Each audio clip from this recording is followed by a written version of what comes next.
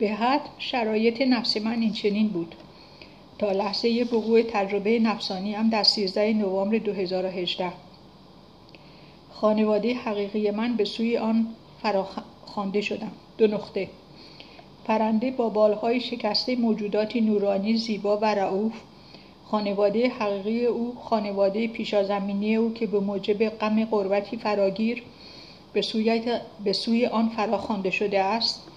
فرستادگان با راهنمایی که برای نجات او بیدار ساختن او یاروی او برای غلبه بر دشمنانش ارسال شدند. صفحه 333 کتاب ابن سینا و تمثیل عرفانی. به حد مرا شکار کردند و پروبال مرا شکستند. در طی تحصیلاتم از سال چهارم دانشگاه در فرانسه و در بیرون از این کادر. نزد آن زن با نامی اشرافی که مدت سه سال مرا تحت آزار روانی قرار داد طبق اداره بازرسی کار. آزار روانی عملی بود که آن زن و همدستانش انجام می‌دادند با مراجعه به آن اداره یک مرد و یک زن با من صحبت کردند. قبل از این خطوط در صفحه همین کتاب همین کتاب بالا صفحه 332 از بال داشتن نفس نوشته شده است. در روی آن صفحه جمله جبران خلیل جبران را نوشتم. همچون دریاست خیشتن خدایی تو. تنها دارندگان بال, بال را او مانند اسیر به پرواز در می آورد. برای افلاتون نفس بال دارد. صفحه 331 کتاب هانری کوربن ابن سینا و تمثیل عرفانی. بال خدایی ترین چیزها در امور مادی است. گیومه بسته. بال برای آن است که چیزی را که میل به پایین دارد بالا ببرد و به قلمرو بالاتر که مسکن خدایان است منتقل سازد. و این همان جز از بدن است که بیشترین شباهت را به امور خدایی دارد. ختم گذر و گذری دیگر ای نفس ای نفس به درهای خیش توجه داشته باش. تو از کجایی؟ تو از بالایی.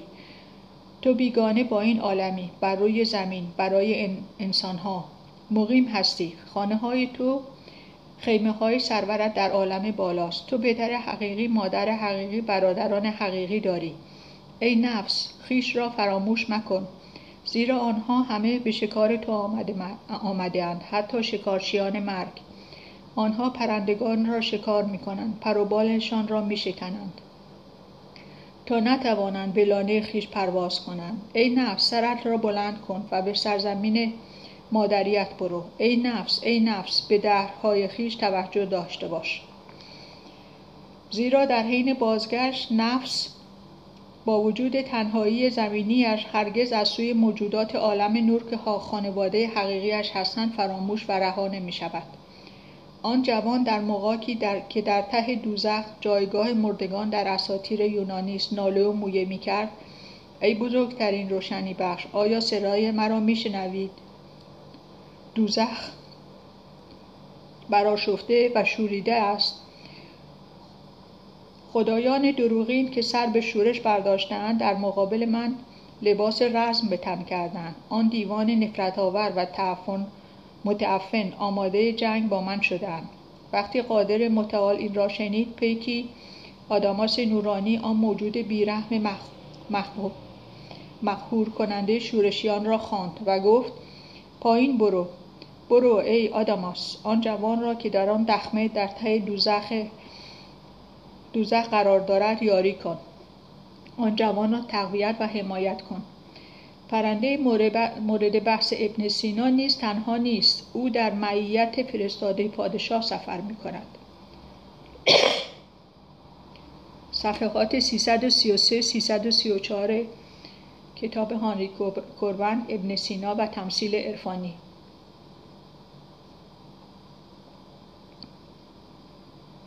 در 13 نوامبر 2018 تجربه نفسانی من به وقوع پیوست. در داستان زندگیم نمونه آخر نوشته بودم که با وقوع تجربه نفسانی هم قطب روحانی من به من پیوست. دیگر تنها نیستم و نیازی نداشتم به خواندن کتاب های هانری کورمن برای دانستن این مطلب.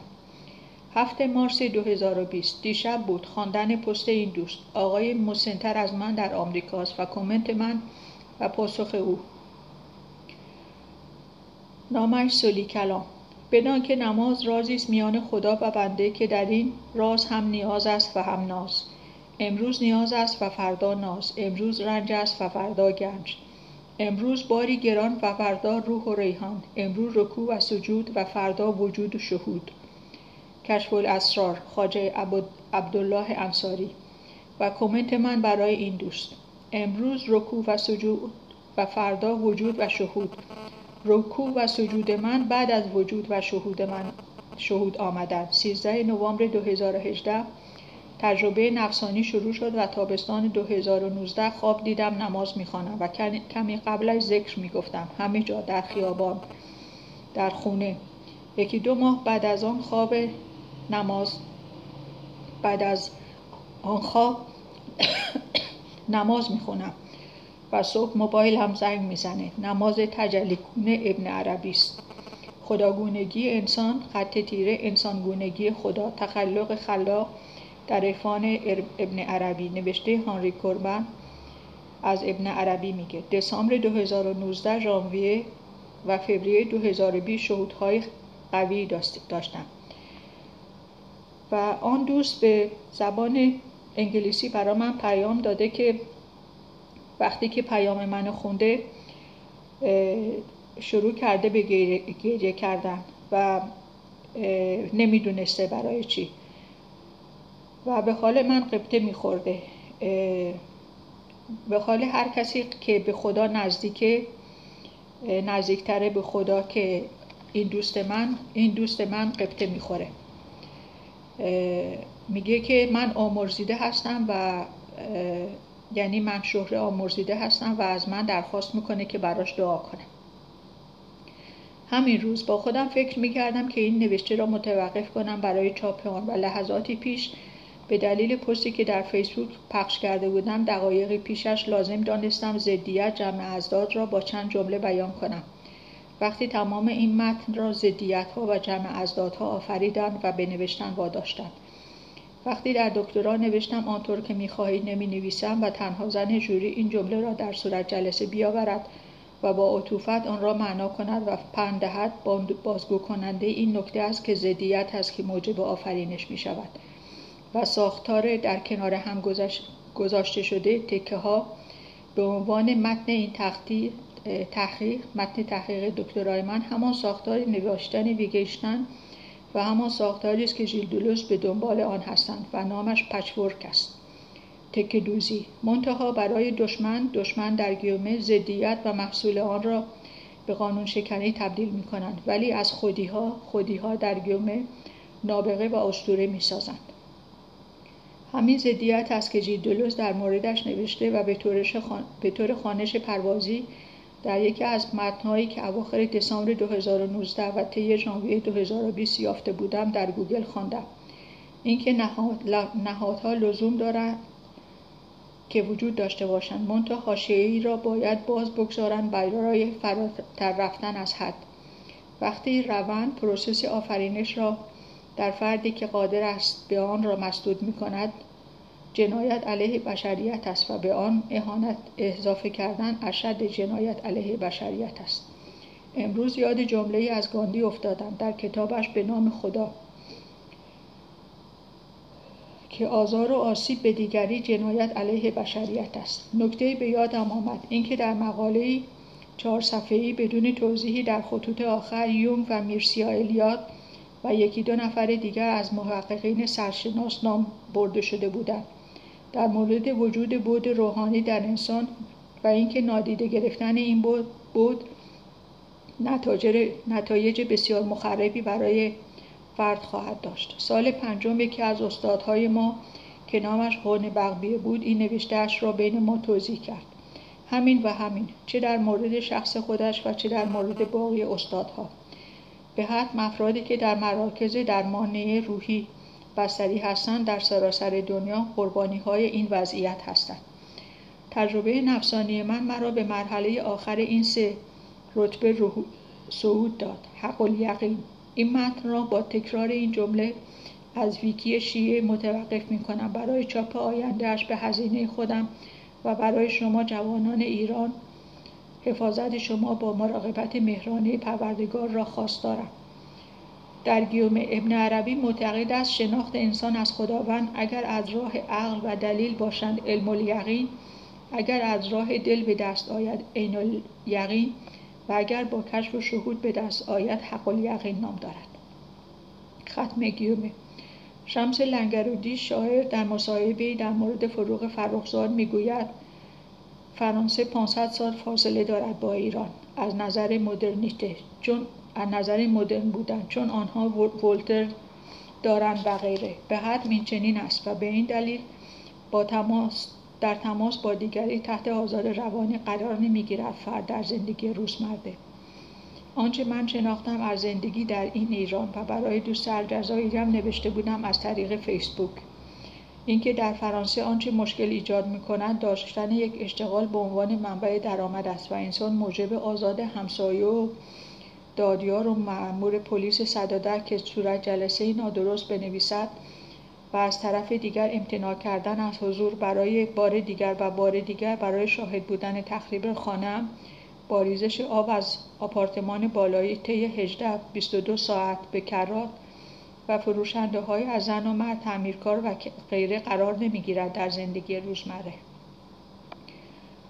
گیومه بسته. این جمله شمس لنگرودی بسیار ارزشمند است. برای حفاظت از خودم در زندگیم در ایران تا پایان عمرم. برای دوست فیسبوک هنرمند نقاش که استاد دانشگاه نیست است و چهار سال تفاوت سنی داریم او مسنتر از من است. در مکاتبه از طریق فیسبوک در پاسخ به محیط شغلی اشتغالی وی که با خصوصیات روحی و هنریش بسیار فاصله دارد نوشتم شمس گرودی گفته است که اگر فروغ کمی بیشتر عمری می‌کرد شعر فارسی تغییری اساسی پیدا می‌کرد. چون فروغ درونگرا بوده است و جامعه ایران کلگراست. کلگرا یعنی عقلانی عقل کل و اینکه وی این دوست و شخص خودم حساس هستیم. جزگرا و تک هستیم به معنی یگانه.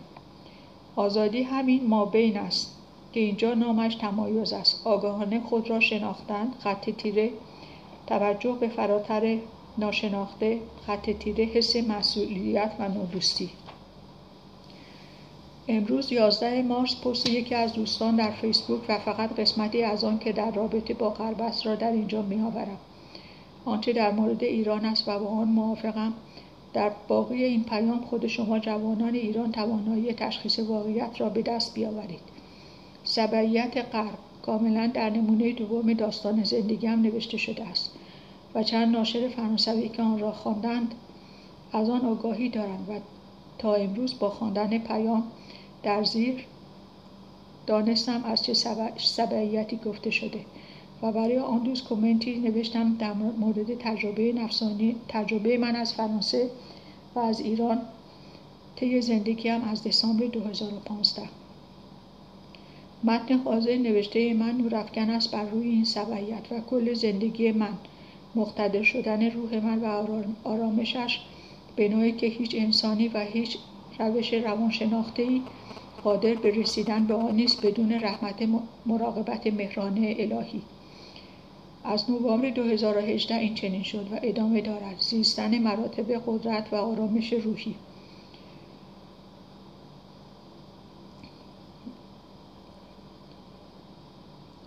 و آن فرد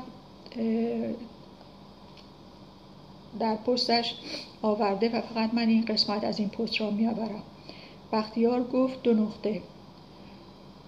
سه نقطه سبعیت درند خویی شکنجهگری و سودپرستی کشورهای صنعتی هر روزه در برابر چشمان ماست. جهان را در شوربختی قوتور می کند روزنامه لسوئیس سال 1984 21 نوامبر. 12 مارس 2020 فرشته عقل فعال آیا به تربیت ملکی من ادامه می دهد؟ عقل فعال از نفس که فرزندان است مراقبت می کند تا آن را به عقلیتش به حالت عقل محضش برساند. اصطلاحات مشابه برای این تعبیر در زبان فارسی اصطلاحات فرشتگی ملکی است. نقطه آغاز تربیت ملکی همان فرشتگی بالقوه نفس است. نقطه اوج آن فعلیت کامل این فرشتگی خواهد بود. صفحه 197 ابن سینا و تمثیل عرفانی. 9 مارس 2020 این پست را در فیسبوک پخش کردم. این بار کسی ازم بپرسه چرا اومده ایران؟ بهش میگم چون سفیر ایران گذشته و ایران نه هنوز نه خط تیره هنوز هستم. شهره برابر است با مابین در مابین در سه نقطه در سه نقطه زندگی برابر است با مابین ها در مابین ها در سه نقطه در سه نقطه. نقاشی در روی جلد اثر استاد عباس معیری است. قرارداد انتشار داستان زندگیم نسخه اول را نمونه اول را در 2018 فسخ کردم و این نقاشی انتخابم بود برای جلد آن متن. با استاد معیری تماس گرفتم و سوال کردم آیا عروس است که نشسته روی گردن اسب و استاد پاسخ داد فرشته است؟ لمساژر دوبرنر پیامبر یا رسان خوشبختی نام این اثر استاد عباس معیری است. دو روز پیش تصمیم به متوقف کردن نوشتن متن اصلی نمودم. منتها آنقدر یگانه است با آنچه خودجوش نوشتم در فیسبوک و فکر می‌کنم آن پست را آوردم که در مورد خطوطی از نوشته یونگ است در کیمیاگری و روانشناسی و کیمیاگری. اینکه نوشتن و تحقیق با من انتشار این متن با عهده اراده پروردگار. در نوشتن این متن همانطور که به وضوح می‌خوانید از ابتدای آن اراده پروردگار حضور دارد. متن درخواست نوشتن داد.